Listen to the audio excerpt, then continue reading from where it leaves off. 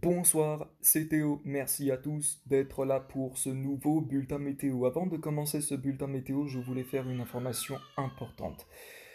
Suite à un cas positif de Covid-19 dans ma famille, euh, je suis cas contact.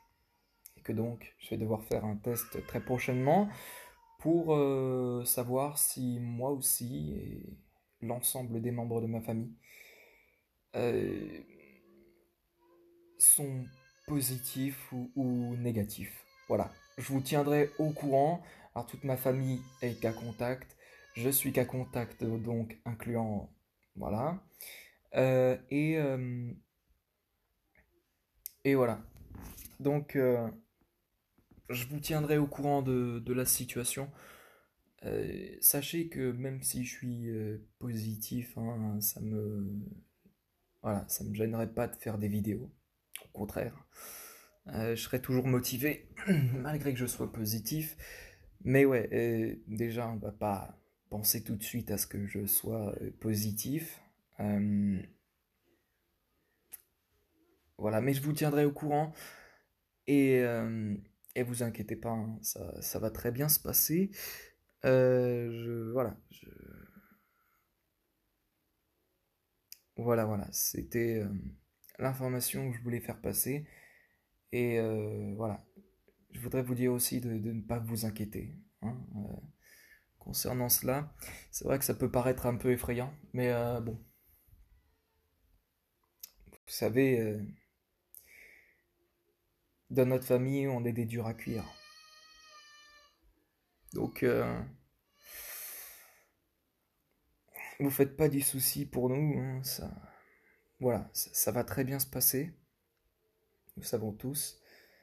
On pense ici que nous ne serons pas tous positifs. Et je pense que même nous ne serons pas positifs dans, toute ma famille là.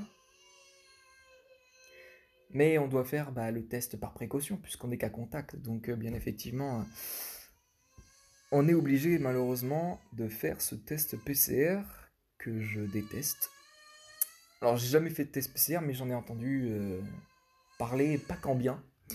Donc, euh, donc voilà. Non mais euh, voilà, donc je vous tiendrai au courant d'ici voilà, d'ici demain. Donc le laboratoire doit nous appeler hein, pour bah, demain matin normalement pour pour faire ce test PCR et et donc, euh, je vous tiendrai informé demain des, résultats euh, des tests, si ça revient. Voilà, si ça, si ça, si c'est, si c'est positif ou négatif. Voilà, je vous tiendrai au courant de toute façon de tout, donc euh, ne vous inquiétez pas. Et donc voilà, donc on va pouvoir commencer ce bulletin météo avec la carte météo de prévis météorage. Et pour cette journée du 1er septembre 2021, le jour de l'automne météorologique va sonner. Oui, puisque demain, nous sommes mercredi 1er septembre, et vous savez tous que le 1er septembre, c'est bien effectivement le jour de l'automne météorologique. Et puis le 21 septembre, on sait tous aussi que c'est l'automne calendrier. Donc, euh, donc voilà, voilà. Euh, très bien. Donc, bah, pour ce premier jour de septembre, pour ce premier jour de l'automne météorologique, c'est un temps plutôt calme qui s'annonce pour la plupart des régions, avec du soleil et des éclaircies pour la plupart des régions. Mais attention, on pourrait retrouver de forts orages se déclenchant sur les frontières pyrénéennes, vers les Pyrénées de l'Ouest, plus en général euh, en milieu d'après-midi, fin d'après-midi et soirée. Hein, Sachez que le au maximum est à 1600. Donc une chance d'orage euh, plutôt modérée à élevée. On est entre 60 et 65%. Et voilà. Et euh, il se peut aussi que dans certaines cellules, hein, un système euh, convectif de méso-échelle se, mette, se mette en place, bien effectivement prenant donc la forme hein, d'une supercellule, avec donc hein, de, forts orages qui pourraient être euh, attendus hein, cette euh, journée de, mercredi sur le la frontière pyrénéenne, plus à l'ouest hein, des Pyrénées bien effectivement. D'autres averses peuvent se déclencher hein, sur les Alpes, ceci dit peut-être sans orage, et puis on retrouve encore vraiment des orages, alors ça c'est dans la zone plutôt jaunâtre, la zone modérée, faible à modérée, hein, sur euh, vraiment la vallée de la Garonne, euh, plus des Pyrénées-Orientales jusque vers la côte basque. Ce risque orageux est plutôt faible à modéré, alors que sur ben, les euh, Pyrénées de l'Ouest, donc euh, vraiment vers euh, les Hautes-Pyrénées et les Pyrénées-Atlantiques. Là, en revanche, nous avons un risque d'orage qui est parfois euh, fort. donc voilà, quelques MCS, donc système convectif de méso-échelle, qui peuvent donner quand même de, forts orages. et parfois de, rafales aussi descendantes qui peuvent être assez fortes. Bon, malgré tout, hein. les rafales pourraient atteindre entre 60-70 km/h, c'est pas non plus énorme. Euh, mais voilà, il convient quand même de faire euh, grande prudence, puisque ces orages peuvent être forts. Et, euh, voilà. Globalement, pour la journée de mercredi, c'est une journée qui est très calme dans l'ensemble, avec du soleil, des très peu de nuages euh, attendus. Alors, il se peut qu'en matinée, quand même, hein, sur euh, la Bretagne, la Normandie et les Hauts-de-France, eh le ciel se couvre un peu le matin, avec des nuages qui peuvent parfois donner quelques ondées hein, dans la matinée. Mais dans l'après-midi, ben, ça va s'évacuer. Ça va s'évacuer sur bon nombre de régions, notamment la Bretagne, de la Normandie et des Hauts-de-France. On retrouvera donc un temps beaucoup plus calme et surtout un, temps qui parfois peut être euh, assez chaud. En effet, les températures peuvent atteindre quand même des températures euh, entre 20 et 23, 24 degrés, 25 sur la moitié nord du euh, pays. Alors au niveau des températures, ben, passons-en aux températures justement. la minimale le matin elle sera de 6 degrés pour la Creuse et Clermont-Ferrand.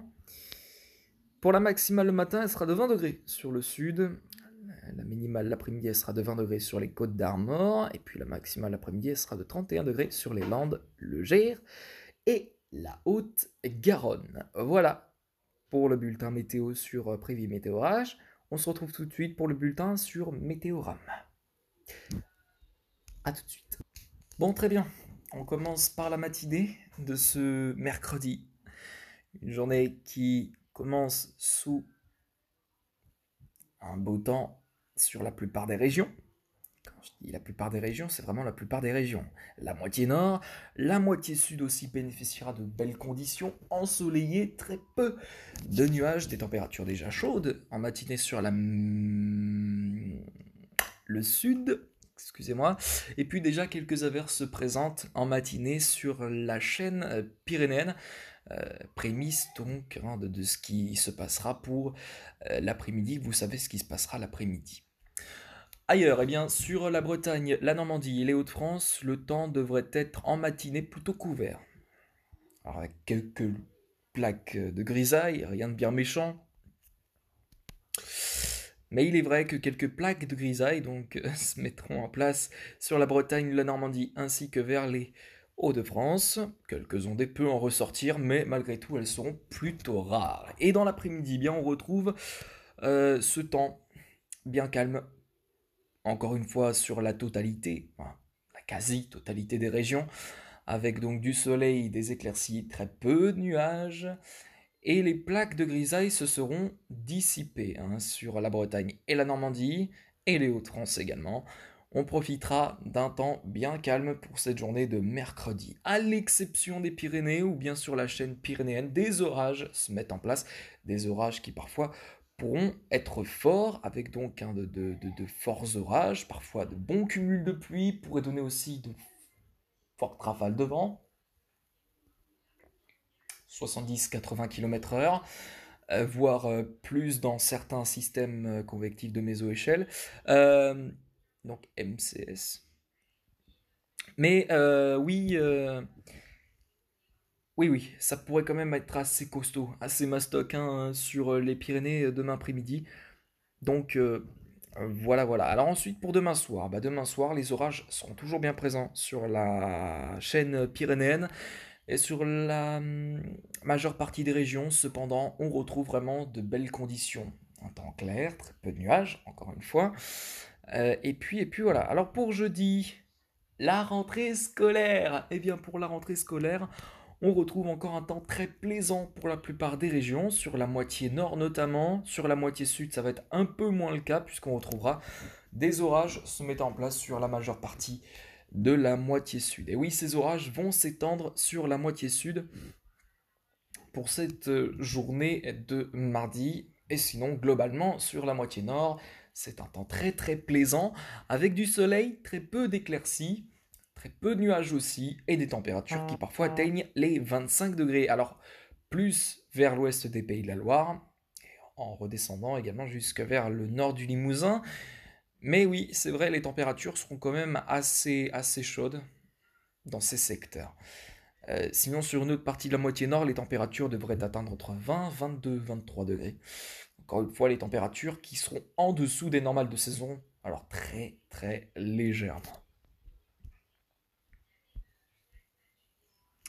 Et voilà. Et puis ensuite, pour la journée de vendredi, bah pareil, vendredi, une journée qui... Euh, alors non, pardon, vendredi ne sera pas le même temps que jeudi. Au contraire, ce sera pire. Pour vendredi, on retrouve un temps de retour à l'instabilité pour la plupart des régions, avec des orages se déclenchant, des averses, des orages locaux, effectivement, qui peuvent se déclencher à l'intérieur euh, de ces averses, hein, des orages locaux qui peuvent se déclencher sur une bonne partie des régions euh, de la moitié nord et de la moitié sud. Donc le beau temps va s'en aller malheureusement. Et puis ensuite pour le week-end, eh bien Kéronos annonce qu'une dégradation orageuse pourrait se mettre en place de l'ouest à l'est pour le week-end. Ce sera à surveiller et à confirmer. En tout cas, c'est la fin de ce bulletin météo. Merci à tous d'avoir suivi ce bulletin. On se retrouve tout à l'heure pour un point météo. Et oui, ça y est, le retour des points météo. C'est vrai. J'en ai plus fait beaucoup depuis, depuis ce temps. Et pour ce point météo, nous allons parler justement de ce début de mois de septembre. Quel, euh, quel temps pourrait-il y avoir pour ce début de mois de septembre et euh, même jusqu'à la mi-septembre, même si ce sont des estimations, attention, je préfère euh, vous le dire, ce sont des estimations, en aucun cas des prévisions. Parce que je vois certaines personnes, euh, voilà, qu'on vienne pas me dire, eh mais t'avais prévu du beau temps pour, le, pour, le, pour la mi-septembre alors qu'en fait il pleut. Je suis pas un robot, je suis un humain comme tout le monde. Hein. Euh, je ne peux pas prédire le beau temps euh, à, deux semaines d'avance. Donc voilà, voilà. Non, mais c'est voilà, c'est c'est fou. Les gens en fait, voilà, ils comprennent pas vraiment la différence entre estimation et prévision. Hum, voilà, c'est Pourtant, c'est facile à faire la différence, mais bon, il y a certaines personnes qui n'arrivent pas vraiment à faire cette différence. Bon, voilà, trêve de blablaterie. Merci à tous d'avoir euh, été là pour ce bulletin météo. On se retrouve tout à l'heure pour le point météo. Donc, pour parler de ce début septembre et le temps qu'il pourrait faire, qu'il pourrait faire pour la mi-septembre. Voilà. Passez une excellente soirée. Bye.